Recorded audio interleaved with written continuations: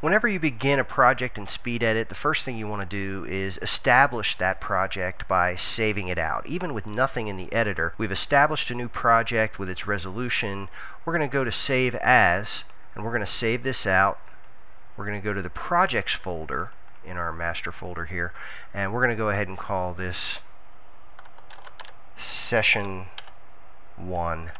You can see at the top of the interface now we have session one and we know that that's the project that we're working on. And this is helpful in that uh, it's going to create its undo redo stack now inside of the projects folder. Now this folder right here inside of projects that goes along with session one is going to become the undo redo stack for this project. And this can become handy later on if we're in the middle of a project and let's say the lights go out and the power's dropped. Then when we come back, if we didn't save the project, all we need to do is come to the undo redo stack and load up the last file that's available here and we'll regain everything that we had in that project except the very last mouse click that we did. So it's very difficult to lose any project information in SpeedEdit even if the power goes out or machine just stops working, it doesn't matter. Once you can get the machine back up and running, SpeedEdit is going to recover all the way back to one mouse click.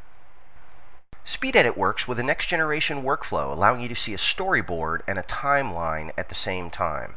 So let's go ahead and decide what clips we want to use to start out with our edit. And again, I'm going to hold down control and I'm going to click on the clips in the order that I want to bring them into the edit. And SpeedEdit will remember the order that I'm clicking on the clips and bring them in in that order and I bring them into the storyboard and the timeline gets populated automatically. So here's our storyboard view up here and our timeline view down here. The first time that you bring a clip into the editor, it's going to have to conform the audio for that clip. And this can take a little bit of time depending upon how long the clip is, and it will be labeled as conforming during this process. Uh, now once the clip has gone through this process you'll see the waveform actually appear right underneath the clip and it only has to go through this process once then this information becomes part of the cached information along with the thumbnail for the clip and the other information that gets saved in the NewTek info file. Just be aware that if you're bringing in very long clips that the conforming process can take a little bit of time. Now, a timeline is a literal view of a project. And in a timeline, you can see all of the clips that are going to play back. You can see the order that they're going to play in. And the amount of time that they take up is represented by their icon as well. Now, a storyboard is a little bit different than that. A storyboard is more of a conceptual view of your project. And you can see the clips and you can see the order in which they're going to play, but their time reference isn't shown as a big block of time uh, with the icon. It's actually shown right up here being referenced by these purple and green lines as to uh, what the video is, how much there is, and what's being used. A storyboard is very handy for quickly manipulating clips in an edit. So down here on a timeline, if I wanted to change the position of two clips, I have to worry about how long they are. And right now I have uh, timeline ripple turned off. So if I move a clip down here and then I want to put this clip in its position, it's too big. So now I have to grab these two clips and move them over and then I can take this clip and put it in. And if I want to move around a number of clips, this can become even more difficult.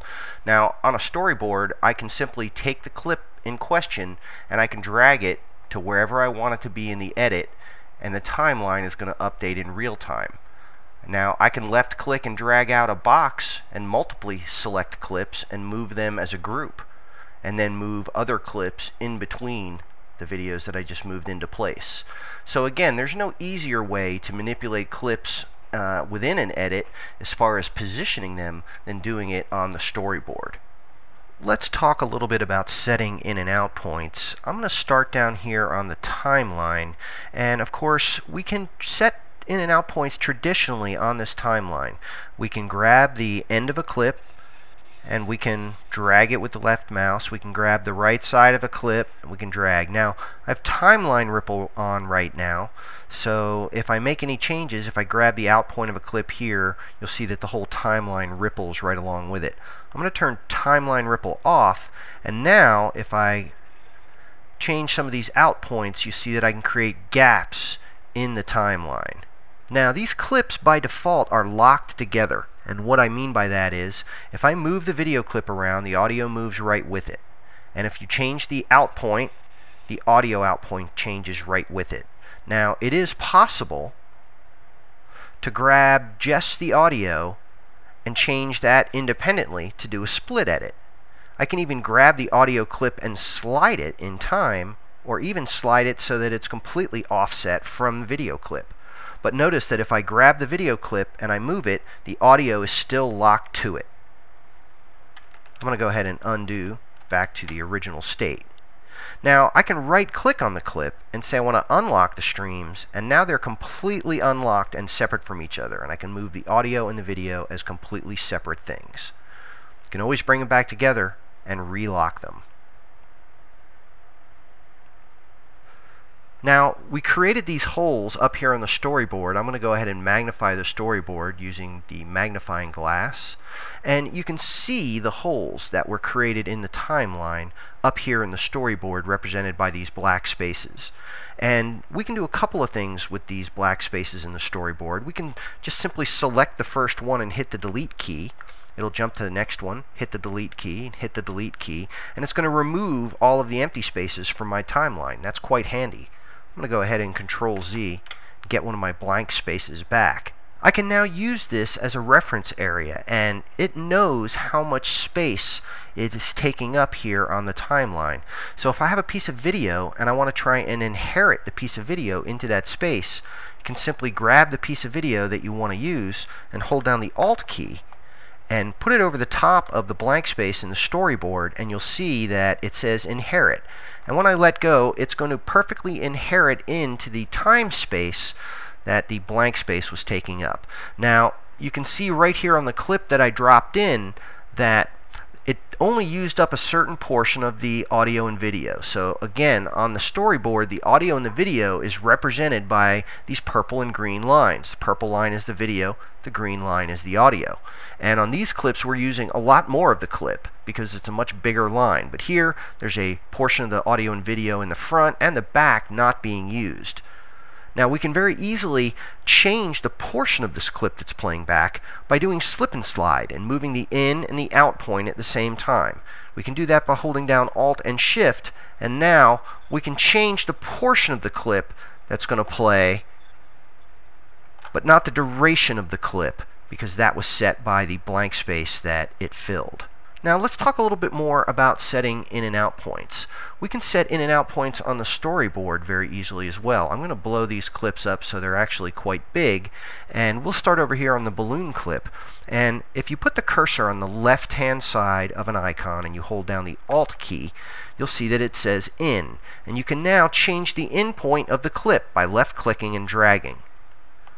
We can also change the out point by putting the cursor on the right side of the clip and holding down the Alt key. And now we're changing the out point. So again, I can very quickly go through and I can set an in point. I can set an out point. Set the in point and set the out. And very quickly get just the portion of the clips playing back that I want to see. You can also set the in and out points on a clip by selecting the clip in question that you want to work with and hitting F8. F8 will open the clip properties panel and from here we can see the in and the out point displayed and you can left click and drag right on the in point, left click and drag right on the out point. You can also left click and drag in the center to choose the icon that's going to represent the clip here in the storyboard. Now we have a lot more controls to the clip here. We have the ability to change the clip speed.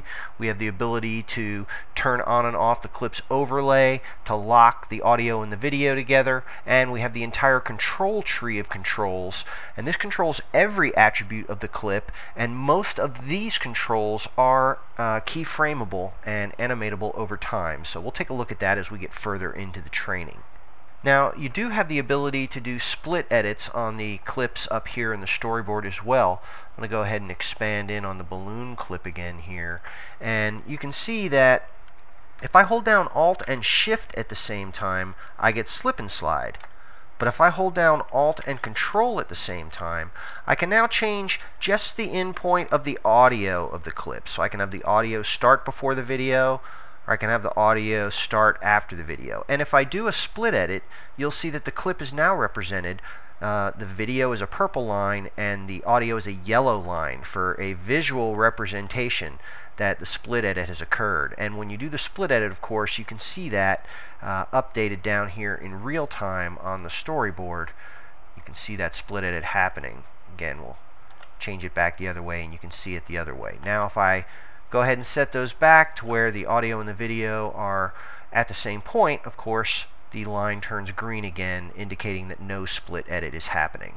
This, of course, is a completely interactive environment between the storyboard and the timeline. So if I make a change down here in the, in the timeline and I do a split edit where I have the audio start after the video, you can then see that displayed in the storyboard icon as well.